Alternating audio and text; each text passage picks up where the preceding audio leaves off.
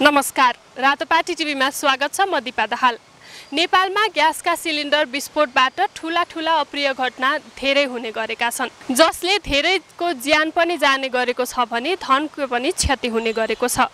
यसै सन्दर्भमा आज हामीले सर्वसाधारणलाई यसको सावधानी कसरी अपनाउने भन्ने बारेमा प्रश्न गर्न गइरहेका छौँ।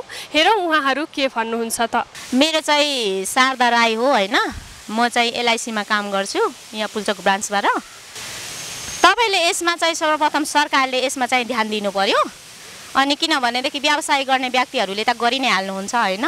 उहाँहरूको लापरवाहीले गर्दाखेरि सरकारले चाहिँ राम्रो यसमा ध्यान नदिएको कारणले चाहिँ यस्तो घटनाहरू आइपरिरहेको छ। अब जस्तै हामी घरमा हुँदैन कति अवस्थामा हाम्रो वृद्ध आमा बाबाहरू हुनुहुन्छ उहाँहरूलाई थाहा हुँदैन होइन? कस्तो खालको सिलिन्डर ग्यासहरू चाहिँ कस्तो खालको चाहिँ हाम्रो घरमा ट्रान्सफर हुँदैछ त्यो थाहा हुँदैन। हामीले केयर गरेको हुँदैन होइन? के कस्तो हुन्छ? अनि अन्तिममा गएर दुर्घटना जब हुन्छ नि तब चाहिँ यस्तो भएछ भन्ने कुराहरू आउँछ होइन? हामी त्यसमा चाहिँ सरकारले चाहिँ एकदमै राम्रो परीक्षण गरेर अब कस्तो खालको चाहिँ हामीले यसको लागि चाहिँ यस्तो दुर्घटनाबाट बच्नको लागि चाहिँ के गर्नुपर्छ भन्ने ध्यानहरू चाहिँ उहाँहरूले दिनुपर्छ अनि व्यवसायीहरूलाई चाहिँ उहाँहरूले चाहिँ सतर्क अपनाउनु पर्ने हुन्छ। म म चाहिँ त्यही भन्न चाहन्छु। आम जनताले चाहिँ तपाईँको अब लापरवाही गर्नु भएन। एक नम्बरमा चाहिँ उहाँहरूले त्यो सिलिन्डरहरू हामीले जति पनि प्रयोग गर्छौँ त्यसलाई पनि हामीले चेक गर्नुपर्ने हुन्छ। समय समयमा हाम्रो कति अवस्थामा त अब तपाईँको हामीले किचनमा राखेको चिजहरूलाई हामीले केयरलेस गर्छौँ होइन? खोलेर पनि छोड्छौँ। तर हाम्रो घरमा ग्यास कस्तो खालको इन्ट्री हुँदैछ त्यो पनि हामीले हेर्नुपर्ने हुन्छ। त्यसको नम्बर बाइस राखेको हुँदो रहेछ होइन? मैले पनि त्यो भर्खर भर्खर हेर्दैछु। अनि हामीले चाहिँ त्यो ग्यासले चाहिँ हामीले प्रयोग त गरेको हुन्छौँ तर कुन ढङ्गले गर्दैछौँ? त्यसलाई पनि हामीले राम्रो तरिकाले त्यसलाई प्रयोग गर्न सक्छौँ होइन? यदि पुरानो ग्यासहरू छ भनेदेखि हामीले पुरानो ग्यासहरूलाई त्यसलाई नलिन पनि सक्छौँ। हामीले व्यापारीहरूले त अब हामीलाई सिलिन्डर चाहियो ल्याइदिनुहोस् भन्छौँ तर पनि स्वाट किचनमा लान्छौँ राख्छौँ होइन? हामीले कुन तरिकाले त्यसलाई प्रयोग गर्दैछौँ कहाँ राख्दैछौँ? हाम्रो विभिन्न हामीमा पनि कमी कमजोरीहरू हुन्छ र एक नम्बरमा सरकारले पनि यसमा ध्यान दिनुपर्ने हुन्छ। हाम्रो लागि चाहिँ एउटा सुलभ तरिकाले हामीलाई उहाँहरूले चाहिँ त्यो ग्यासहरू चाहिँ राम्रो खालको ग्यासहरू चाहिँ उम्, प्रदान गरिदिएदेखि राम्रो हुन्थ्यो जस्तो लाग्छ मेरो चाहिँ। नयाँ ग्यासहरू त पुरानो ग्यासहरूलाई चाहिँ सबैले इग्नोर गरेर नयाँ ग्यासहरू चाहिँ होइन? त्यसको अब बाहिरको त कलर मात्रै गर्ने होइन त्यसको भित्र पनि राम्रो हुनु पऱ्यो कभरेज राम्रो हुनु पऱ्यो हजुर मेरो नाम नवराज देवकोटा घर मेरो जुम्ला हो। जुन हजुरले अहिले सोधिरहनु भएको विषय छ त्यो अत्यन्तै मान्छेको मानवको स्वास्थ्यसँग प्रत्यक्ष जीवनसँग सम्बन्धित विषय छ। किनकि ग्यास सिलिन्डरहरू दिन प्रतिदिन पड्किरहेछ त्यसको जोखिममा मानव परिरहेछन् भन्ने कुरो जो उठाउनु भयो। यो एकदम एक त पहिलो नम्बर म तिनवटा पोइन्टमा भन्छु। पहिलो नम्बर पहिलो पोइन्टमा के हो भने ग्यासका सिलिन्डरहरू कति वर्ष प्रयोग गर्न सकिने हो? त्योलाई निगरानी सरकार पक्षबाट अति नै निगरानी गरी अनुगमन निरीक्षण गर्नुपर्छ। र त्यो व्यापक जनतालाई अथवा उपभोक्ताहरूलाई जानकारी गराउनुपर्छ। यति वर्षसम्म यो सिलिन्डर चलाउन मिल्छ यति वर्षपछि प्रयोग गर्न मिल्दैन भनेर व्यापक जानकारी गराउनुपर्छ। त्यो भए जनताहरू सचेत हुन्छन्। अब अहिलेको त्यसमा देखिँदै देखिँदैन। सिलिन्डरहरूमा कति वर्ष पुरानो के हो त्यसको मापदण्डै अहिले देखिँदैन। एउटा कुरो त्यो। दोस्रो अर्को कुरो भनेको हाम्रो आर्थिक हिसाबले पनि ग्यासलाई विस्थापित गरेर विद्युततिर लिँदाखेरि त्यसको आर्थिक स्थिति पनि मजबुत हुनसक्छ र यसो यस्ता घटनाहरू पनि कम हुन सक्छन्। तेस्रो कुरो भनेको यसको जुन उपभोक्ताहरूलाई पनि सचेत हुनुपर्छ। आफै पनि सचेत हुनु पऱ्यो के हो कसो राम्रो खालको सिलिन्डरहरू लिनु पऱ्यो अनि कति वर्ष पुरानो हो त्यो खोजी निम्ति उपभोक्ताले पनि गर्नु पऱ्यो यही नै हो। होइन सरकार पहिलो व्यवसायीले त व्यवसायको आफ्नो हुनु पर्थ्यो व्यवसायलाई जुन हुनुपर्ने। अब व्यवसायीले त्यति गर्न नसके पनि सरकारले त्यसलाई निगरानी गरिदिएको भए व्यवसाय त आफ्नो व्यवसाय गर्ने जति सक्यो अ, फाइदा लिन खोज्छन्। आफ्नो धर्म त बिर्सन्छन् तर पनि सरकारले त्यसमा निगरानी गरिदिएको भए उहाँहरूले पनि व्यवहार गर्न सक्नुहुन्थेन कि? अब त्यसमा अलिकता सरकारको कमी कमजोरी छ किनकि त्यसको मापदण्ड के हो? कति हो? त्यसको त्यहाँ देखिने सिलिन्डरमा पनि देखिन्न। अनि त्यो जनताहरूलाई पनि त्यो जनचेतना पनि भएको छैन। अब गाउँ कुन्दराहरूमा दराजमा सहरमा पनि त्यसको मापदण्ड के हो? कति हो? कति वर्ष पुरानो भयो? यति वर्ष कति वर्षसम्म चलाउन मिल्दैन भन्ने त्यही छैन कि? त्यो नहुँदाखेरि पनि जस्तो सुतको प्रयोग भइरहेछ। त्यसले गर्दा यो समस्या आइरहेछ। मेरो नाम विजय महतो। नवलपुरबाट अहिले पाटन क्याम्पसमा अध्ययनरत छु हाम्रो युवा नेता नेपाली काङ्ग्रेसको जो चाहिँ अहिले माननीय पनि हुनुहुन्छ उहाँ जस्तो को घरमा नै यस्तो किसिमको चाहिँ दुर्घटना हुनु एकदम दुःखस्पद छ होइन? जुन चाहिँ अब यसमा चाहिँ बच्ने कुरामा चाहिँ के भन्न चाहन्छु भनेदेखि पहिलोचोटि त हामी आफै नै त्यो कुरामा चाहिँ हामी एकदम थाहा हुन चाहिँ जरुरी छ।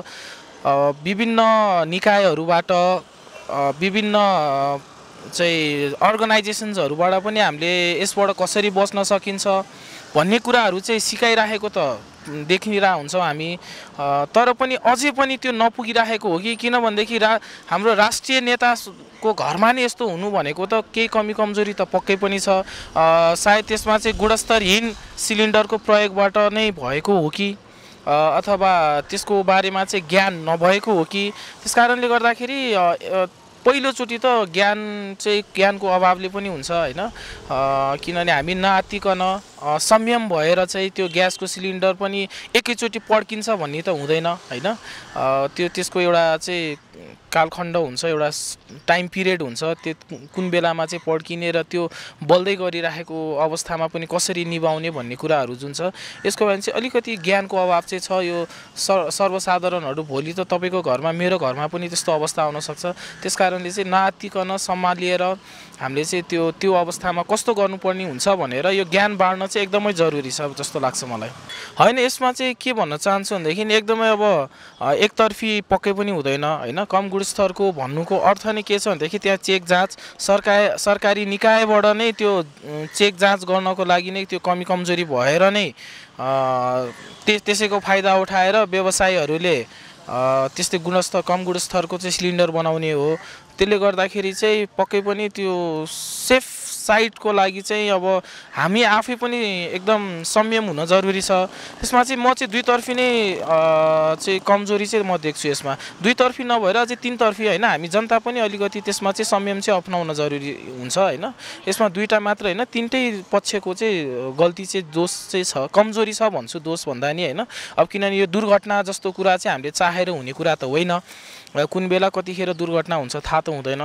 तर तिनटै पक्ष पनि यो गुणस्तरको कुरामा सरकार पनि र व्यवसायहरू पनि एकदमै जरुरी चाहिँ संयम हुन जरुरी छ। प्लस हामी उपभोक्ता पनि चाहिँ एकदम संयम हुन जरुरी छ। हस् थ्याङ्क यू म युवराज लामा पाटन संयुक्त क्याम्पसमा बिएससी गरेर बसेको छु। अब सर्वप्रथम त अब बच्नका लागि जो सर्वसाधारण हुनुहुन्छ जो जो ग्यास युजर हुनुहुन्छ उहाँहरू आफै पनि अवेरनेस अवेर भएर अथवा त्यसमा सावधानी अप्नाउनु पर्ने सिम्पल सिम्पल कुराहरू हुनसक्छ। त्यो कुराहरूमा चाहिँ उहाँहरूले विशेष ध्यान दिनु पऱ्यो त्यसै गरी सरकारको पक्षबाट पनि सबै ठाउँमा सबै जनतामा चाहिँ के कस्तो छ होइन? ग्यास सिलिन्डरको अवस्था अथवा यो हुनसक्ने क्षतिको बारेमा चाहिँ अवेरनेस कार्यक्रमहरू दिन जरुरत छ र अनुगमन गर्न र साथसाथै चेतावनी दिन पनि जरुरत छ। अब दुइटै कुरा हो। अब कतिपय कुरा घटनाअनुसार घटनाक्रम अनुसार अथवा कोही अब त्यो कमसल अथवा त्यो सिलिन्डरको कारण अथवा यस्तै टेक्निकल कारणहरू हुनसक्छ। कतिपय कुराहरू अवार नभएर के? केयरलेस भएर पनि यो कुराहरू भइरहेको अवस्था छ र दुवै पक्षमा चाहिँ हामीले ध्यान दिन एकदम जरुरत छ। अब सर्वसाधारणलाई चाहिँ पहिलो कुरामा आफ्नो ग्यास अथवा आफ्नो किचन आफैले सुरक्षित राख्नु पर्यो। दोस्रो नम्बरमा अब सरकारले पनि अवेरनेस दिनु पर्यो। अब विभिन्न स्थानीय सरकारबाट चाहिँ समय समयमा यस्ता किसिमको अवेरनेसहरू कार्यक्रमहरू अ, गर्दै आएको छ। त्यो कुरामा चाहिँ सहभागिता लिनु पऱ्यो र यसलाई अलिक गम्भीरतापूर्वक लिन चाहिँ म अनुरोध गर्न चाहन्छु। मेरो नाम राजेन्द्र कार्की। अँ, घरमा अहिले इमाडोलमा बस्दैछु।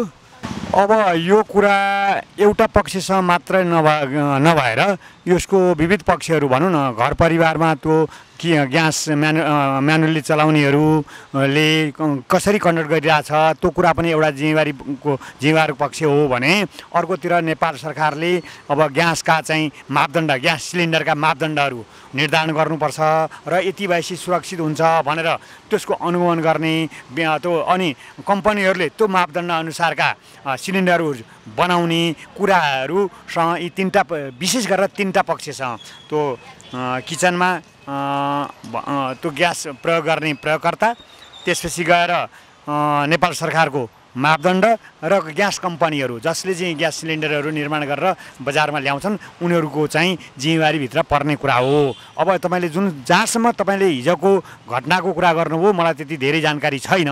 अब दुर्घटना भयो मान्छेको मृत्यु भयो अनि अब त्यस त्यसको बारेमा त्यो घटनाको अवस्थिति मूल्याङ्कन नगरिकन त्यसलाई चाहिँ छानबिन नगरिकन कसरी घटना घट्यो को जिम्मेवार छ भन्ने कुरा थाहा नभइकन त्यसको बारेमा केही बोल्न जानि सकिएन। त्यसो भएको हुनाले अब त्यो अब के कसरी घटना घट्यो? घटना घट्ने कारण उनीहरूले असाध्यै राम्रो सुरक्षात्मक उपाय अपाउ अप्नाउँदा अप्नाउँदै अनि त्यो ग्यासको चाहिँ सिलिन्डर कमजोर भएर चाहिँ ब्रस्ट भएको हो भने नेपाल सरकार र चाहिँ ग्यास उत्पादन गर्ने कम्पनी नै जिम्मेवार भए होइन। अब त्यहाँनिर अ, मापदण्ड अनुसारको सिलिन्डर छ अनि नेपाल सरकारले त्यसको अनुगमन गरिरहेछ त्यो हुँदाहुँदै पनि त्यो चलाउने प्रयोगकर्ताले चाहिँ त्यसलाई राम्रोसँग चलाउन नजानेर अथवा चाहिँ आफ्नो कमजोरी भएर पड्केको हो भने अब स्वयं पनि अब दुर्घटनाको नोक्सानी त उनीहरूले नै बेहोर्नु पऱ्यो उनीहरूले जिम्मेवारी हुन्छन्। यस विषयमा घटना नै अध्ययन गर्नु जरुरी हुन्छ भन्ने लाग्छ। अब यसको बारेमा नेपाल सरकारले पनि बेला बेलामा यसको सर्वसाधारणलाई जानकारी दिने सचेतना जगाउने काम त गर्नु नै पर्छ। र अब ग्यास प्रयोग गर्ने ग्यास कम्पनीले पनि यसको चाहिँ आफ्ना ग्राहकहरूलाई आफ्ना चाहिँ प्रयोगकर्ताहरूलाई यसको बारेमा बेला बेलामा सचेतना कार्यक्रमहरू सेफ्टी कसरी अप्नाउन सकिन्छ सुरक्षा कसरी अप्नाउन सकिन्छ भन्ने बारेमा ग्यास कम्पनीले आफ्ना चाहिँ सेवाग्राहीहरूलाई दिनुपर्ने सचेतनाका कार्यक्रमहरू गर्नुपर्छ। नेपाल सरकारले पनि कडाइका साथ अनुगमन गर्नुपर्छ र अनि कसैले बदमासी गर्यो नेग्लिजेन्सी गर्यो भने त्यसलाई चाहिँ कडाइ कारवाही कडाइका साथ कारवाही गर्नुपर्छ। यो यतातिर छँदैछ र अनि प्रयोगकर्ताले पनि त्यसलाई चाहिँ सजगताका साथ एकदम चाहिँ होसियारीका साथ प्रयोग गर्नुपर्छ। हुन त अब ग्यासै अहिले सबभन्दा ऊर्जाको ग्यासै चाहिँ पहिलो स्रोतको रूपमा सहरी क्षेत्रमा भइरहेछ। अब यसको विकल्पको रूपमा नेपाल सरकारले विद्युतको पनि प्रयोग गर्ने भनिरहेछ। यो चाहिँ अब सकेसम्म ग्यासको विकल्पको रूपमा विद्युतलाई प्रयोग गर्न सक्यो भने नि अलिकति सुरक्षा चाहिँ हुन्छ। अब अहिले अहिले त नेपाल सरकारले पनि विद्युत प्राधिकरणबाट चाहिँ यो उपभोग्य उपभोक्ताहरूलाई विद्युत पनि सरल मूल्यमा दिने भनिरहेछ।